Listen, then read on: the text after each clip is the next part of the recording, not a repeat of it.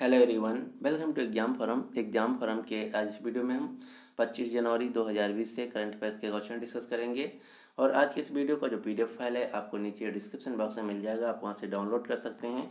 अब आपको जो पीडीएफ फ़ाइल मिलेगा, फुल डिटेल में मिलेगा, यानी कि जैसे डिटेल में क्वेश्चन वीडियो में रहते हैं, उसी प्रकार से अब आपको पीडीएफ फ़ाइल में मिलेंगे। तो चलिए शुरू करते हैं अब आज का वीडियो।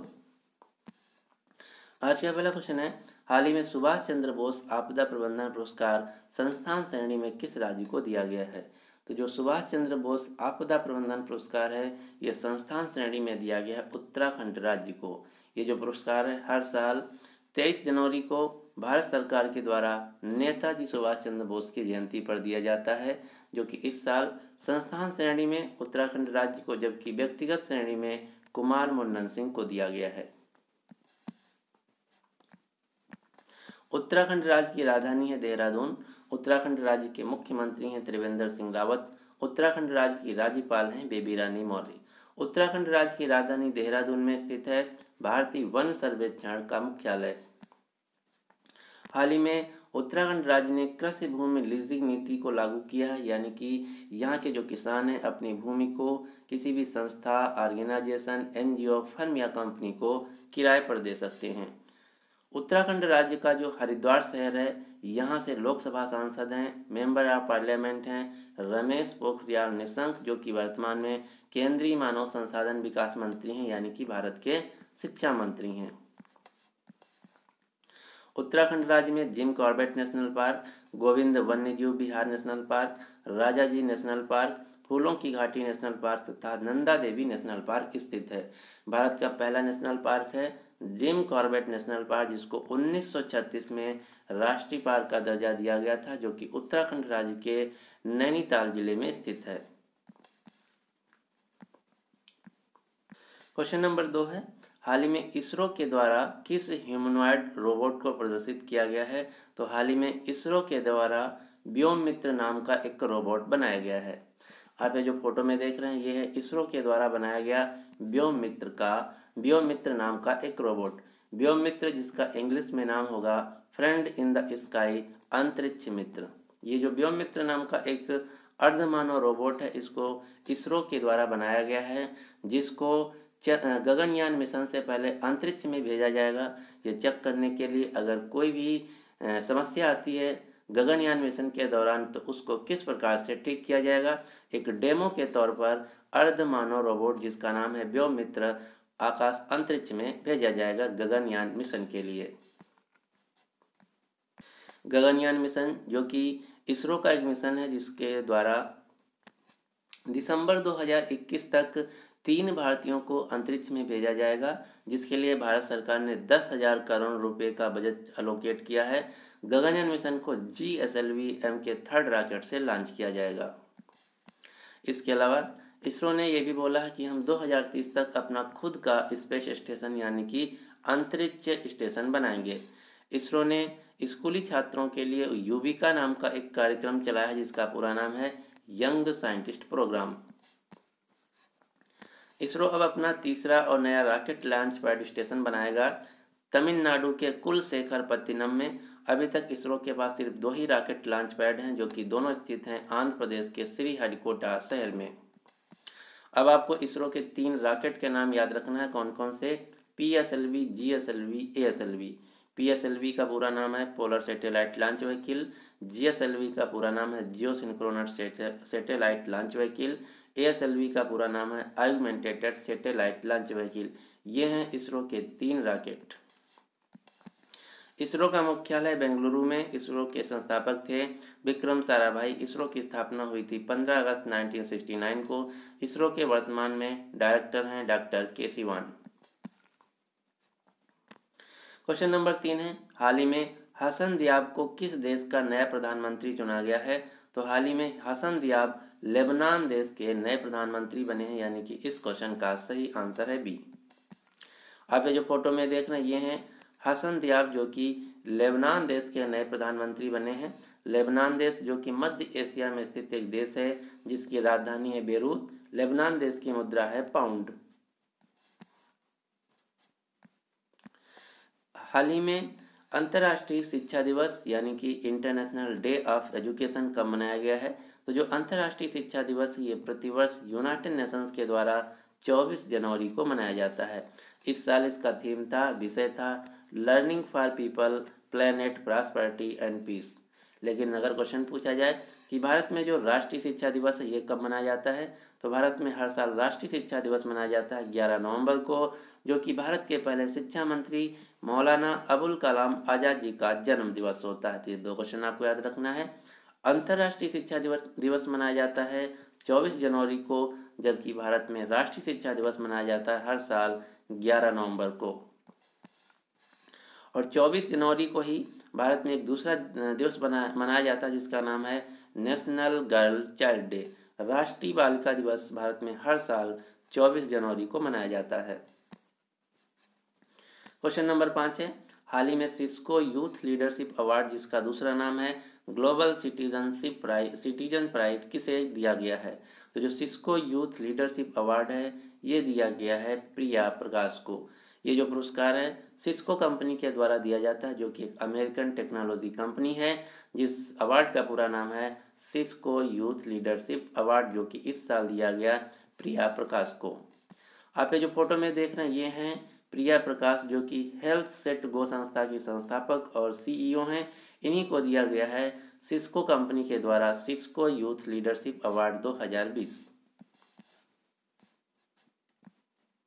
question number छः है, हाल ही में किस ब्लॉकचेन तकनीक पर आधारित, हाल ही में किसके द्वारा ब्लॉकचेन तकनीक पर आधारित एक नए भुगतान प्रणाली वज्र प्लेटफॉर्म को लॉन्च किया गया है? तो जो वज्र प्लेटफॉर्म नाम का एक नया भुगतान पेमेंट सिस्टम है, इसको लॉन्च किया गया है एन पी सी आई के द्वारा, जो कि डी एल टी यानी कि डिस्ट्रीब्यूटेड लेजर टेक्नोलॉजी पर काम करेगा, जिससे एन पी सी आई की पूरी पेमेंट क्लियरिंग और settlement process unified payment interface यानी कि यूपीआई और रुपे कार्ड जैसी सुविधाओं को एकीकृत करने के लिए तैयार किया गया है। तो आपको याद रखना है एन पी सी आई के द्वारा एक नया पेमेंट सिस्टम लॉन्च किया गया है, जिसका नाम है वज्र प्लेटफॉर्म जो कि डीएलटी टेक्नोलॉजी पर काम करेगा। एनपीसीआई जिसका पूरा नाम है national payment corporation of India जो कि आरबीआई की एक सब्सिडरी कंपनी है, यानी कि सहायक कंपनी है। एनपीसीआई की, का मुख्यालय है मुंबई में। एनपीसीआई का, की स्थापना हुई थी 2008 में। एनपीसीआई के वर्तमान में सीईओ और एमडी हैं दिलीप असबे। अब यहाँ से तीन क्वेश्चन पूछे जाते हैं कि जो रुपे कार्ड है, भीम ऐप है, और तीसरा पूछा जाता है यूपीआई इन तीनों को किसने बनाया है? तो रुपे कार्ड, भीम ऐप और यूपीआई तीनों को बनाया गया है एनपीसीआई के द्वारा। क्वेश्चन नंबर सात है। हाल ही में मेटन कप में अपूर्वी चंदेला और दिव्यांग सिंह पनवार ने किस, कौन सा पदक जीत लिया है? तो मेटन कप जो कि शूटिंग से रिलेटेड एक प्रतियोगिता है, इसमें भारत के अपूर्वी चंदेला और दिव्यांश सिंह पनवार ने जीत लिया है स्वर्ण पदक, यानी कि इस क्वेश्चन का सही आंसर है ए। इसी प्रतियोगिता में भारत की अंजुम मुदगुल और दीपक कुमार ने जीत लिया है कांस्य पदक। जो मेटन कप है, इसका आयोजन हुआ ऑस्ट्रिया देश में ऑस्ट्रिया देश, जो कि यूरोप महाद्वीप में एक स्थित देश है, जिसकी राजधानी बियाना ऑस्ट्रिया की मुद्रा है यूरो ऑस्ट्रिया की राजधानी बियाना से अब आपको तीन संस्थाओं के नाम याद रखना है, ओपेक, यूनिडो और इंटरनेशनल एटॉमिक एनर्जी एजेंसी। इन तीनों संस्थाओं का मुख्यालय है ऑस्ट्रिया की राजधानी बियाना में। क्वेश्चन नंबर आठ है हाल ही में परमाणु सक्षम सतह से सतह मार करने वाली बैलिस्टिक मिसाइल, जिसका नाम है गजनवी, का सफल परीक्षण किस देश के द्वारा किया गया है? तो जो गजनवी नाम की एक बैलिस्टिक मिसाइल है, इसको सफल परीक्षण किया गया पाकिस्तान देश के द्वारा, यानी कि इस क्वेश्चन का सही आंसर है सी। जो गजनवी परमाणु सक्षम सतह से सतह मार करने वाली मिसाइल है, इसकी रेंज है 290 किलोमीटर। पाकिस्तान देश के राष्ट्रपति हैं आरिफ अलवी, पाकिस्तान देश की राजधानी इस्लामाबाद, पाकिस्तान देश की मुद्रा है पाकिस्तानी रुपया। पाकिस्तान देश के वर्तमान में प्रधानमंत्री इमरान खान, जिनकी पार्टी का नाम है पाकिस्तान तहरीक इंसाफ पार्टी। पाकिस्तान के जो प्रधानमंत्री इमरान खान, इनको जार्डन देश की जो इस्लामिक स्ट्रेटेजिक, स्टडी सेंटर है, इसके द्वारा Muslim man of the year 2020 घोषित किया गया है। पाकिस्तान देश के पूर्व राष्ट्रपति, जिनका नाम है परवेज मुशर्रफ इनको पाकिस्तान देश की कोर्ट के द्वारा मृत्युदंड की सजा सुनाई है, गई है देशद्रोह के केस में। क्वेश्चन नंबर नौ है, हाल ही में पांचवा महाकवि कन्हैया लाल सेठिया अवार्ड से किसे प्रदान किया गया है? तो जो महाकवि कन्हैया लाल सेठिया अवार्ड है, ये दिया गया इस साल अरविंद कृष्ण मेहरोत्रा को, यानी कि इस क्वेश्चन का सही आंसर है बी। आप ये जो फ़ोटो में देख रहे हैं, अरविंद कृष्ण मेहरोत्रा, जो कि एक लेखक हैं, इन्हीं को दिया गया है। महाकवि कन्हैया लाल सेठिया अवार्ड, जो कि हर साल जयपुर साहित्य उत्सव के दौरान दिया जाता है। क्वेश्चन नंबर दस है, हाल ही में कितने लोगों की संपत्ति को शत्रु संपत्ति घोषित किया गया है? तो हाल ही में 9,400 लोगों की संपत्ति को शत्रु संपत्ति घोषित किया गया है। अब हम जान लेते हैं कि शत्रु संपत्ति क्या है और किन लोगों की संपत्ति को शत्रु संपत्ति घोषित किया गया है। तो उन लोगों की संपत्ति को शत्रु संपत्ति घोषित किया गया है जिन्होंने भारत की नागरिकता छोड़कर चीन और पाकिस्तान देश की नागरिकता ले ली है। तो आपको याद रखना है उन देशों की संप उन लोगों की संपत्ति को शत्रु संपत्ति घोषित किया गया है जिन्होंने भारत की नागरिकता को छोड़ करके चीन और पाकिस्तान देश की नागरिकता ले ली है और टोटल हाल ही में 9,400 लोगों की संपत्ति को शत्रु संपत्ति घोषित किया गया है। किसके द्वारा? गृह मंत्रालय के द्वारा। अब आपको चीन से एक मोस्ट मोस्ट इम्पोर्टेंट क्वेश्चन याद रखना है। चीन में चीन में हाल ही में कोरोना नाम का एक वायरस फैला है जिसकी वजह से कई लोगों की मृत्यु हो गई है और पूरी दुनिया के जो आ, से आने वाले लोग हैं उनके लिए एक अलर्ट भी जारी किया गया है कि वो लोग चीन की यात्रा ना करें। तो अगर क्वेश्चन पूछा जाए कि कोरोना नाम का जो वायरस है किस देश में फैला हुआ है तो उत्तर होगा चीन देश में।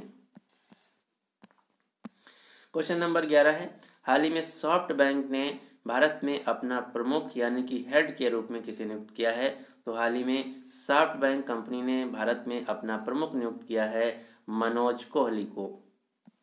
आप ये जो फ़ोटो में देख रहे हैं, ये हैं सॉफ्ट बैंक इंडिया प्रमुख मनोज कोहली। सॉफ्ट बैंक जो कि एक जापानीज मल्टीनेशनल कंपनी है, एक इन्वेस्टमेंट कंपनी मेनली ये बैंक नहीं, एक इन्वेस्टमेंट कंपनी है। सॉफ्ट बैंक का मुख्यालय है टोक्यो शहर में। टोक्यो वही शहर है जहाँ पर 2020 के ओलंपिक खेल खेले जाएँगे। क्वेश्चन नंबर बारह है। हाल ही में वैश्विक भ्रष्टाचार धारणा सूचकांक 2020 में भारत की रैंक क्या रही? तो हाल ही में ग्लोबल करप्शन परसेप्शन इंडेक्स 2019 में भारत की रैंक रही 80 यानी कि इस क्वेश्चन का सही आंसर है सी।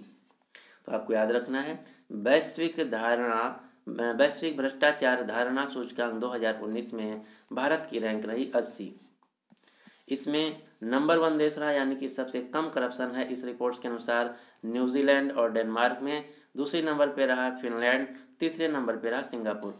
इस रिपोर्ट्स के अनुसार पूरी दुनिया में सबसे ज़्यादा करप्शन है सोमालिया देश में, जिसकी रैंक रही 180 तो मेनली तीन क्वेश्चन आपको याद रखना है। वैश्विक भ्रष्टाचार धारणा सूचकांक 2019 के अनुसार भारत की रैंक है 80 नंबर वन देश है न्यूजीलैंड और डेनमार्क और सबसे खराब देश है सोमालिया, जिसकी रैंक रही 180 ये जो रिपोर्ट है, ये जारी की गई है इंटरनेशनल ट्रांसपेरेंसी ट्रांसपेरेंसी इंटरनेशनल के द्वारा, जिसका मुख्यालय है जर्मनी के बर्लिन शहर में। तो ये थे आज के करंट अफेयर्स के क्वेश्चन। अब आपके लिए क्वेश्चन क्वेश्चन क्या है कि हाल ही में मुख्यमंत्री पर्यटन संवर्धन योजना किस राज्य के द्वारा शुरू की गई है? तो इस क्वेश्चन का जो सही आंसर है आपको नीचे कमेंट बॉक्स में देना होगा। अगर आपको वीडियो पसंद आता है तो प्लीज़ इस वीडियो को लाइक कीजिए और अपने सभी दोस्तों के साथ जो किसी भी एग्ज़ाम की तैयारी कर रहे हैं, उनके साथ शेयर कीजिए। और आज के इस वीडियो का हम टारगेट रखते हैं लाइक्स और शेयर का एक हज़ार। अगर अभी तक आप हमारे चैनल एग्ज़ाम फोरम को सब्सक्राइब नहीं किए तो इसको सब्सक्राइब करके नोटिफिकेशन बेल को ऑन कर लीजिए, ताकि आपको इसी प्रकार से डेली मॉर्निंग में करंट अफेयर्स का वीडियो मिलता रहे। So finally thanks for watching exam forum